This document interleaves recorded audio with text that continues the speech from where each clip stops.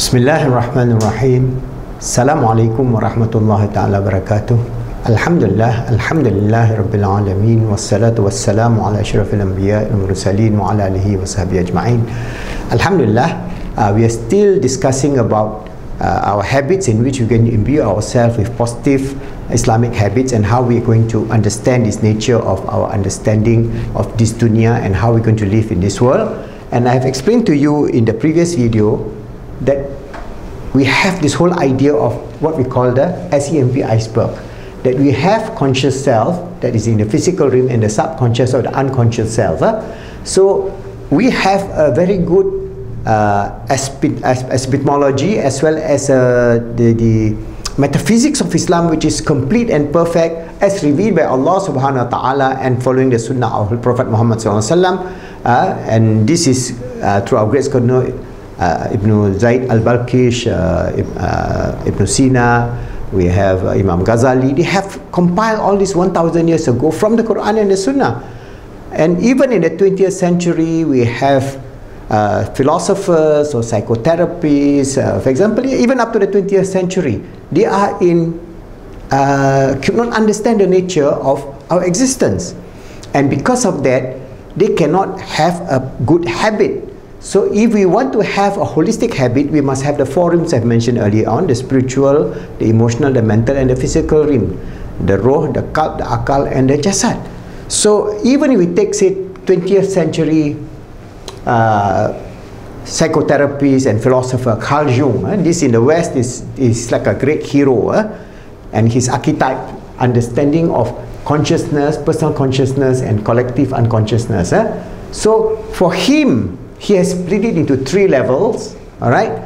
And he has uh, explained in the sense that in the 20th century, then maybe we, we can get rid of religion in a way, because, but then he cannot have an answer.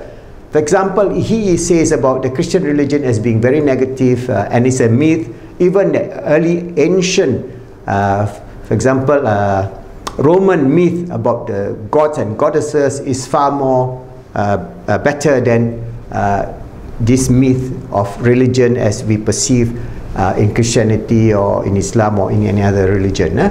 But he has this uh, model of archetype of human psyche. And his model actually is quite uh, relevant in the sense that if we understand Carl Jung nature of the human psyche is we start with the conscious. So one's total personality is the conscious realm, start with the conscious realm, awareness consisting of this psychic content of one we have knowledge. So this is the conscious as mentioned to you in our SMP. This is the, our physical world. We can agree, no problem.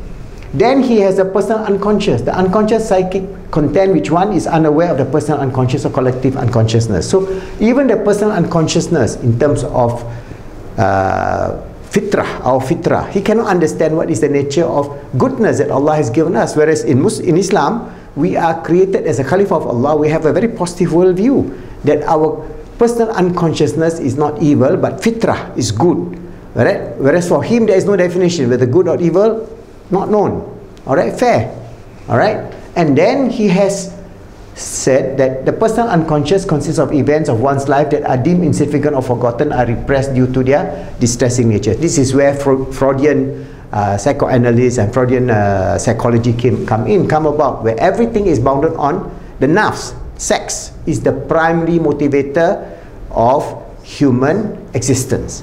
That is the whole nature of the Freudian ideology. And what happened in when uh, Carl Jung expresses this idea? What happened? You develop a materialistic philosophy that resulted in communism, that resulted in socialism, that resulted in the murder and the killing of the Second World War, more than 30 million people. Stalin killed more than 50 million Russian. Mao Zedong killed more than 100 million Chinese in the great so-called Great Leap. They have no moral ethics because once you destroy the nature of the human psyche becoming just the materialistic aspect, then you have a problem. But Carl Jung agreed that there is the collective unconsciousness and this is where he cannot define because uh, he is trying to muddle around in, in this life without knowing God. So he wants to get rid of God, but without knowing how to get rid of God. So his philosophy is basically the human psyche, collective unconsciousness consists of psychic structure, cognitive category, which are not unique to the individual, but rather one shared by all, influencing our thought behaviors at the way we look at the world. And this is collective. That means where it is residing, we know our consciousness is, doesn't reside in our brain. We know we have the uh, spiritual realm which within the Islamic concept is very clear and very defined in terms of our tenets of Islam.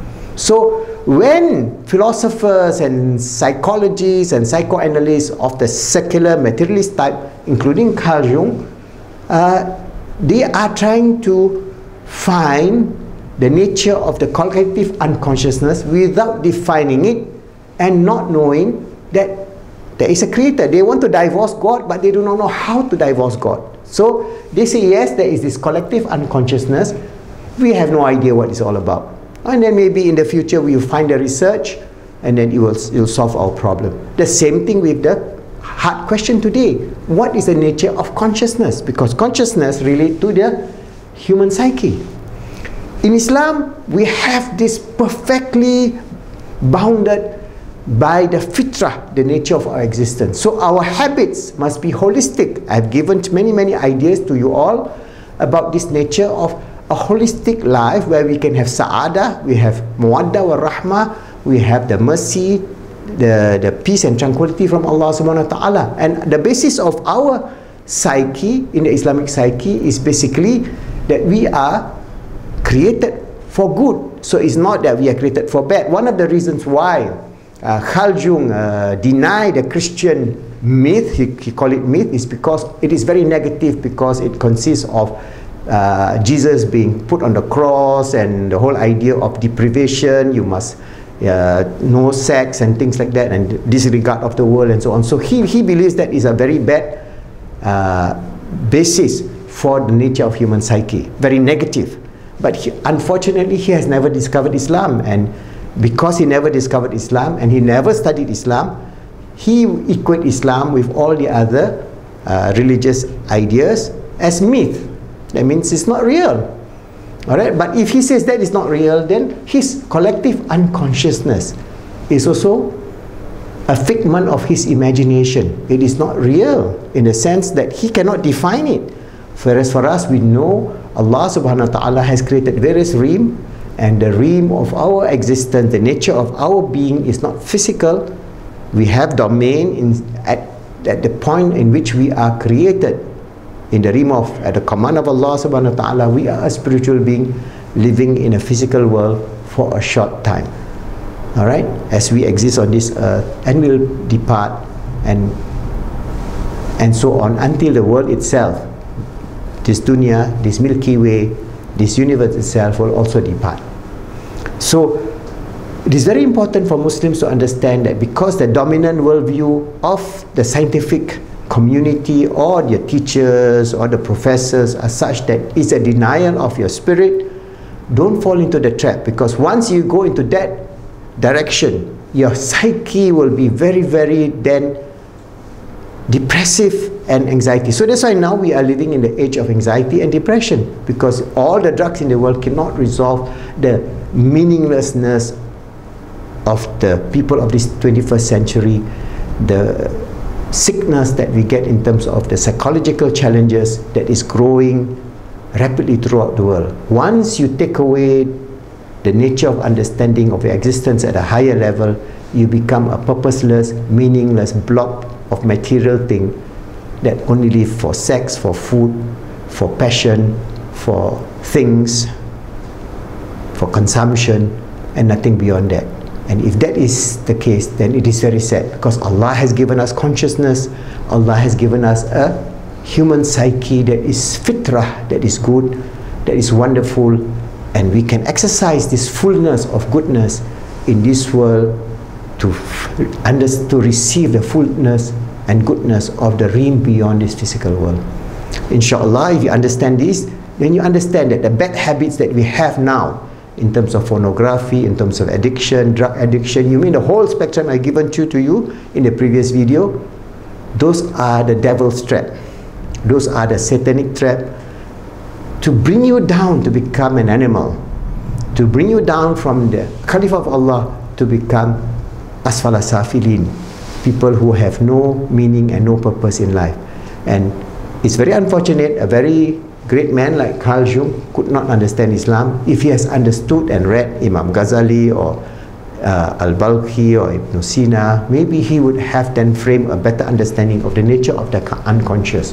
The collective unconscious is real, but the collective unconscious is in the realm of the spiritual, which we cannot explain insofar as a scientific uh, explanation. Even the nature of quantum entanglement, we cannot answer. Quantum physics, a lot of the dis dispute about where some say, okay, consciousness is in the quantum field and so on. They cannot, they cannot, they just is speculative science. But in Islam, don't ever pick up the bad habits of materialism until we forget the nature that we are a spiritual being existing temporarily in this physical world and will be returning to God, Allah subhanahu wa ta'ala, and will have the goodness of this world if we practice the beauty, the mercy, the compassion, the love of Allah, and extrapolate that into our life as being His Caliph of Allah, always striving to make ourselves good, helping others to be good, and making the world good, inshallah.